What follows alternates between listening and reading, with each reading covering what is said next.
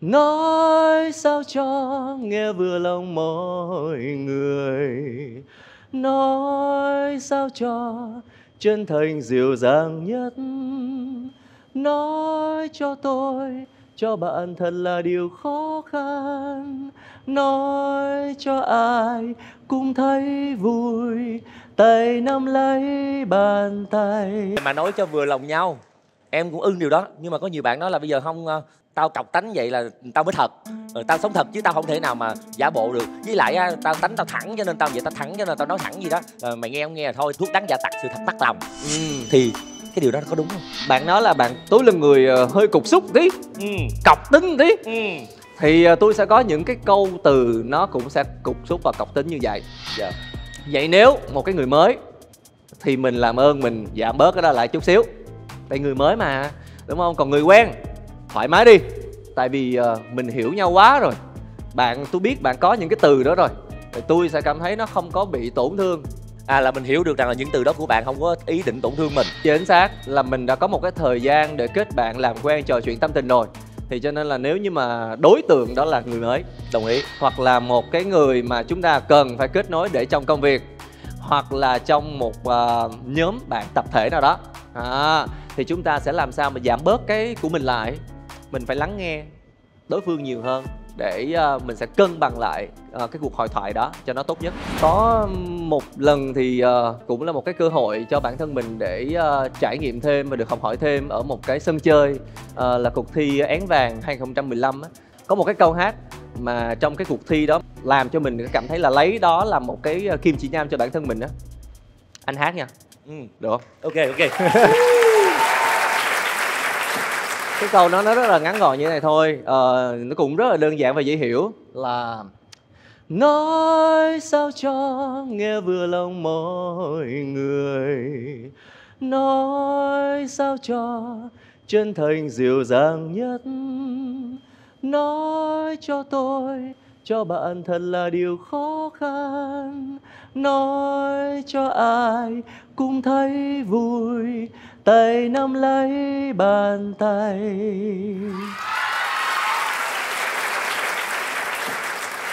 Cái điều đó nó làm cho Minh Sù ờ, nghĩ rằng là ờ, nếu như mà mình lựa chọn cái trách nhiệm thuộc về mình á thì mình phải làm tốt cái chuyện đó trước. Dạ.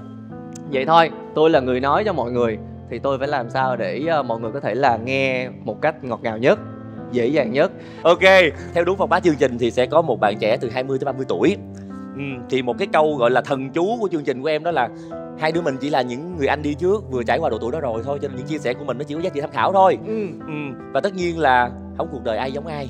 Cho nên là cái người quyết định cuối cùng vẫn phải là nhân vật chứ không phải là hai đứa mình. Bây giờ thì sẽ là lúc mà mình cùng xem đoạn VT ngắn của nhân vật để anh Minh Xù cảm nhận xem bạn ấy như thế nào và vấn đề của bạn là gì nhé. Xin chào mọi người, mình là Thu Lệ, mình 22 tuổi, hiện đang sinh sống và làm việc tại thành phố Hồ Chí Minh. Là một người con lớn lên tại vùng đất Tây Nguyên đầy nắng và gió, mọi thứ nơi đây đã góp nhặt nên một cá tính mạnh mẽ, phong cách sống tự lập, thích trải nghiệm và luôn mang cho mình một trăm ngôn là hãy là chính mình vì đâu có mấy lần thanh xuân. Mình luôn tự tin khi được làm những điều mà mình thích nhưng không phải ở đâu cũng chấp nhận điều đó. Để thực hiện được giấc mộng thành công nơi phố thị và thỏa sức theo đuổi niềm đam mê, mình lựa chọn chuyên ngành quan hệ công chúng với lĩnh vực chính là tổ chức sự kiện và tưởng chừng như mọi thứ đang diễn ra một cách hoàn hảo như những gì mà mình đang mong muốn. Nhưng trên đà trưởng thành thì áp lực của tuổi trẻ luôn đè nặng trên vai, khiến mình phải đặt ra nhiều câu hỏi xoay quanh về vấn đề tài chính. Để giải quyết được vấn đề trước mắt, mình đã lựa chọn một công việc mang lại nguồn thu nhập để có thể trang trải được cuộc sống. Sau khi hoàn tất chương trình học, mình đã may mắn có cơ hội được làm việc đúng với ước mơ, hoài bão và chuyên ngành học của mình tại một công ty chuyên về event. Với suy nghĩ rằng vừa được làm một công việc mà mình yêu thích, vừa có thể nhận được đãi ngộ và thu nhập cao và cũng như trải nghiệm được sự thú vị trong ngành event. Nhưng thực tế có lẽ đã kéo mình rơi xuống vực thẳm và mọi thứ dường như đã không còn màu hồng như trong trí tưởng tượng của mình hay nói cách khác là vỡ mộng nghề nghiệp. Vậy sự lựa chọn ban đầu của bản thân liệu có đúng đắn? À, là cũng là một bạn trong ngành quan hệ công chúng cũng làm tổ chức sự kiện là cũng khá gần gũi với nghề nghiệp của anh em mình đó anh xem cái clip này xong rồi anh cảm thấy như thế nào? Tự nhiên anh thấy ờ, cái câu chuyện anh kể lúc đầu cũng tương tự ha đúng thiệt tuổi trẻ mình ờ, cũng đã mấy lần vỡ mộng đó chứ hả? Mình có rất là nhiều những cái ờ, mộng tưởng những cái ước mơ nhưng mà đôi khi mà ra thực tế nó khác hoàn toàn so với những gì mà mình tưởng tượng. Cho nên là bạn vỡ mộng thì cũng là chuyện thường tình thôi. Dạ. nhưng mà minh xù nghĩ rằng câu chuyện của bạn này á thì nó rất là xu hướng á nó rất là hiện đại ngày nay á tại vì anh thấy cái lĩnh vực này là cái lĩnh vực mà đại đa số các bạn trẻ hiện nay đang mong muốn là là là được học và được đi làm bởi vì Minh Sù thấy là có rất là nhiều sân chơi, rất nhiều sân khấu, rất nhiều chương trình, rất nhiều event và các bạn muốn là mình sẽ được thể hiện bản thân theo nhiều góc cạnh, mình được đa di năng hơn, mình được làm nhiều thứ hơn. Nhưng anh thấy là nếu như mà mình chưa đủ sức mạnh mà mình dám làm nhiều thứ thì vỡ mộng là đúng rồi. Nha, tại vì nếu mà mình ờ, dành toàn tâm toàn ý một cái ờ, sức lực của mình cho một cái mảng nào đó thôi thì đôi khi mình master. Yeah. nhưng mà mình lại ờ, vô tình tự nhiên mình lại lựa một cái con đường mình đi là mình lấy cái master này cái năng lượng bự này mình ràng đều ra hết. Xong tự nhiên không có cái gì mình mạnh hết. Xong cái tự nhiên cái mình lúc đó có một cái vấn đề đẩy xuống thôi. À vỡ mộng. Anh mà nãy em nghe bạn nói ờ, hãy là chính mình vì đâu có mấy lần thanh xuân. Em nghe em hơi bực bội nghe. Thật sự á? Ừ tại vì đối với em 60 tuổi 70 tuổi em vẫn còn thanh xuân anh à hợp lý nha. Ờ. Tại sao mà mình cứ phải giới hạn cái thanh xuân mình nhỏ là vậy? Em ơi em chơi tới đi thanh xuân em dài lắm em ơi. Thật sự luôn tự nhiên nhìn anh em tụi tôi đi. Ai mà có ngờ là 40 đó ủ 40 rồi đâu. Ai nói gì nhưng mọi người không không nhắc về tuổi thì Ừ. nhìn mình vẫn rất thanh xuân thì đúng là có một lần thôi mà lần này của em kéo dài mãi mãi anh à. Với lại gì nữa nè bạn nói bạn bị áp lực tuổi trẻ em thấy bạn còn hơn nha. Bạn đang tận hưởng áp lực tuổi trẻ đó em bây giờ em bị áp lực tuổi già em cũng mệt lắm anh ơi. Ủa sao hai con nó đối lập nhau vậy? Mới đã thanh xuân bị áp lực tuổi già. Ủa anh nói là thanh xuân mình không nói về tuổi nhưng mà em vẫn bị áp lực tuổi già mà. Vậy thì tại sao mình cứ nói là mình bị áp lực tuổi trẻ khi ta trong khi tuổi già cũng có áp lực mà áp lực tuổi già nó nặng nề hơn áp lực tuổi trẻ? Chứ áp lực tuổi già nó có cái gì mà làm cho em ờ, đắn đo dữ vậy tuổi già hả? Là là, là tuổi mình già rồi. Đó là cái áp lực. Đi ra ga đâu gặp mấy đứa em bị áp lực tuổi trẻ nữa tao nói mày hơn là mày còn trẻ đó chứ tao già rồi nè. Tao gặp mày là tao mới áp lực nè. Đúng mình sẽ bị ờ, mất đi vài thứ mà mình không mong muốn lắm đúng không? Mà thiệt ra nếu không có áp lực thì cũng rất là khó để mình có động lực. Bởi vì một số cái áp lực nó vô tình nó sẽ đẩy mình phải đi nhanh hơn. Nhiều khi nha chính nhờ những cái áp lực em nói thí dụ cái áp lực gì? Tuần sau là thi học kỳ. Em nói thiệt có cho em mà biết um, lịch thi hoặc là lịch deadline đồ trước một tháng thì cũng tới một tuần em mới học à. ừ. em học trước một tháng em học cũng không có vô. Vậy thì rõ ràng là cái áp lực của một tuần lễ nữa thi nó hiệu quả hơn áp lực của một tháng nữa thi nha. Hợp lý á. Đó thì thì nói như vậy đó mà bạn còn nói thêm cái dở mộng nghề nghiệp nữa thì em đang hơi thắc mắc tí xíu là không biết bạn mộng cái gì mà nó dễ vỡ như vậy. Tại thực ra là nó còn tùy thuộc vào cái tưởng tượng và cái hình dung của mình về công việc thực tế nữa. Nhiều khi anh thấy nha bạn ờ, mới từ trong trường bạn đi ra bạn làm công việc này đầu tiên có khi nào là mình đang lý tưởng hóa cái công việc thực tế quá không? Đúng rồi. Ừ, rồi xong mình ra cái mình tự mình lý tưởng xong cái tự mình vỡ mộng thôi. Thì em nghĩ cái này không phải là vỡ mộng mà là cái giai đoạn mình nên điều chỉnh giấc mơ. Ừ. thay vì là mình cứ vỡ mộng mà mình dùng cái từ vỡ mộng nghe nó tiêu cực và nó đau khổ quá thì mình thấy là à thì ra mình cần điều chỉnh cái giấc mộng của mình lại cho nó phù hợp với thực tế. Giống như hồi nhỏ nha em mơ làm siêu nhân đi nhưng bây giờ em chỉ cần mơ là một người có thể giúp được mấy bạn trẻ thôi chứ em không cần bay trên trời. Chính xác. Đó. Để mà có thể trao đổi trực tiếp và bớt bắt lỗi bạn một cách suy diễn như cái kiểu phiến diện của hai anh em mình từ nãy tới giờ. Đúng. Mình sẽ mời nhân vật ra đây để cùng đối chứng với Minh Xù và Dương Sĩ Tiến. Chào em.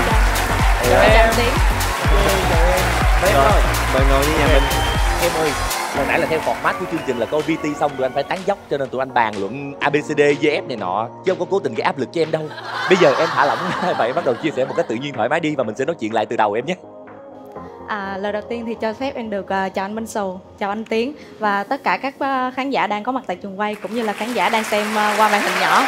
Dạ, uh, em xin được phép giới thiệu lại một lần nữa thì em tên là Thu Lệ, hiện tại em 22 tuổi và đang uh, làm việc tại thành phố Hồ Chí Minh. Cái vở mộng nghề nghiệp của em á, nó được à, gom nhặt từ nhiều thứ nhỏ nhất để tạo nên một cái lớn nhất khiến cho em phải gọi đó là mở vở mộng. Dạ, bản thân em thì à, đi học à, đi cũng tham gia rất là nhiều cái hoạt động trong trường. Em cũng cực kỳ em là một người cực kỳ hòa năng nổ cực kỳ nhiệt huyết luôn. Em trong cái quá trình mà em đi theo học thôi em cũng đam em cũng đi làm nè em cũng tham gia rất nhiều cái hoạt động bên ngoài tham gia các hoạt động câu lạc bộ cũng như là rất nhiều thứ em nuôi cái ước mơ của mình là khi mà em phải hoàn thành đúng cái chương trình học của mình đúng hạn à, phải ra được một cái bằng giỏi. Và em đã hoàn thành được cái điều đó luôn. Dạ. Chúc mừng em. Sau khi mà hoàn thành được cái việc đó xong á thì em uh, trước đó để cho bản thân như em có chia sẻ là bản thân mình cũng phải là uh, trang trải cuộc sống nè để không có dựa dẫm quá nhiều vào ba và mẹ. Thì trước đó em có đi làm một công việc đó là về sale à, công việc đó cũng khá là ổn định và cũng mang lại một cái nguồn thu nhập cho em để em trang trải trong cái quá trình đó. Những cái thời gian đó thì em cũng đã à, giảm cái chế độ gọi là sinh ba mẹ lại. Sau cái khoảng thời gian là cuối năm 2022 á thì em hoàn tất á, tốt nghiệp. Thì em ờ, có đi ờ, em em mới suy nghĩ rằng là à, mình có nên đi à, làm tiếp cái công việc hiện tại hay không? Hay là mình nên đi làm cái chuyên ngành của mình? Em đấu tranh cái tư tưởng giữa hai cái luồng đó đến tháng 3 năm 2023 thì em quyết định là nghỉ công việc sale hiện tại để em đi kiếm cái về công công việc event của mình. Em có apply vô một số công ty trước đó nhưng mà nó không có thật sự phù hợp với em. Làm account executive thì cũng thiên về sale thì em cũng lại không không có thích lắm. Mà bản thân em thích về sản xuất thích về chạy à, quản lý nhân sự chạy sự kiện hơn thì em mới uh, apply vô tình vô một cái công ty thì uh, em may mắn là đậu phỏng vấn. Ừ. dạ. Mình đi làm trước đó nhiều công ty khác nhưng mà nó lại không thuần về agency. Thì em lại không biết như thế nào là một agency thuần tí em không biết là một công ty gia đình. Thì em mới uh, đi làm xin vô thời gian đầu tiên thì em bị lẻ tháng á. Thì uh, công ty khi mà vô á công ty không hề chia sẻ về bất kỳ một cái vấn đề gì về lương. Là cái không rõ ràng đầu tiên. Đến mãi sau một tháng thì công ty vẫn chưa có câu trả lời cho đến khi tụi em lên tiếng. Thì công ty hầu như không có một câu trả lời nào xứng đáng hết. Công ty chỉ nói là cái thời gian đó bạn đến công ty bạn chỉ là một đi học việc thôi. Ok em chấp nhận cái điều đó luôn em chấp nhận luôn. Là sau đó thì công ty mới ờ, nói rằng là à, thôi thử việc hai tháng để xem có bắt thử việc hay không rồi mới vô chính thức. Em vẫn cố gắng nỗ lực trong hai cái tháng thử việc đó. Thì em may mắn là à, công ty ghi nhận cái thành quả đó của em à, cho em lên chính thức. Cái thời gian một hai tháng đầu nó không có nói lên được cái tính chất của công ty tại vì em không có làm chính nè ông không có uh, quá nhiều áp lực từ uh, phía công ty đẩy về. Đến khi mà em vô chính thức thì bắt đầu mọi người đẩy công việc nhiều hơn đưa những nhiều cái áp lực hơn. Uh, vì công ty thiếu nhân lực nên là em phải làm khá là nhiều vai trò à, các anh chị luôn khó chịu đối với bản thân em. Chỉ cần có một công việc có có một cái sai sót nhỏ thôi hoặc là chỉ cần là em làm một cái gì đó không vừa ý của các anh chị một xíu thôi các anh chị cũng cọc càng khó chịu chửi bới các thứ. À, chửi rất là nhiều luôn. Em chửi miết mà em bị ám ảnh tiếng chửi luôn á. Là đến nỗi à, nhiều khi tối về em còn mơ mà. Em em cũng có nhiều cái dự định là nghỉ sớm nhưng mà năm 2023 thì anh anh anh Minh cũng như anh Tiến biết rồi. À, kinh tế khó khăn mình đi xin việc không có được nhiều thứ bạn bè của em cũng ờ, thất nghiệp nhiều. Nên là em cũng cố gắng ờ, đến ờ, đầu năm 2024 á thì em xin nghỉ. Công ty đó chuyên về lĩnh vực là event nhưng mà trong đó chuyên nhất em chuyên nhất là team building. Mà anh biết đồ hơi của team building nó cực kỳ nặng và cực kỳ dơ nóng bức bên kho nữa. Thì tụi em phải làm tất cả những công công việc như là soạn đồ nè tụi em phải tự check list tụi em ờ, ra ra hiện trường á là tụi em phải tự set up luôn. Tụi em tự bơm đồ hơi luôn. Chưa kể là trước đó tụi em còn phải hoạt động chất xám nữa. À, lên kế hoạch lên kịch bản lên uh, game phải uh, tính toán game cho khách hàng chơi như thế nào. À, trong quá trình đó thì phải uh, set trạm game ra sao chơi như chơi ra sao. À, rất là nhiều thứ.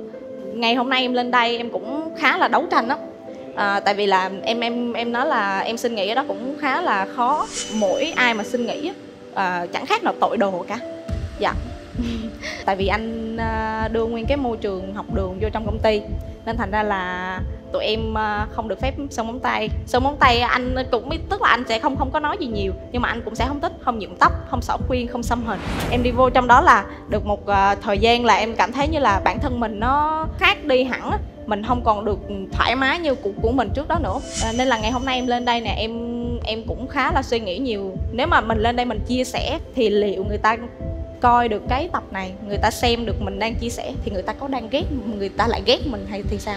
Tại vì trước đó em đã cố gắng xây cho mình một gương mặt quá giả tạo với người ta đi. Em cố gắng làm hài lòng người ta nhất có thể để người ta không ghét mình. Thì bây giờ mình lên đây mình chia sẻ như vậy thì liệu người ta có có có, có quay lưng lại người ta ghét mình nữa hay không?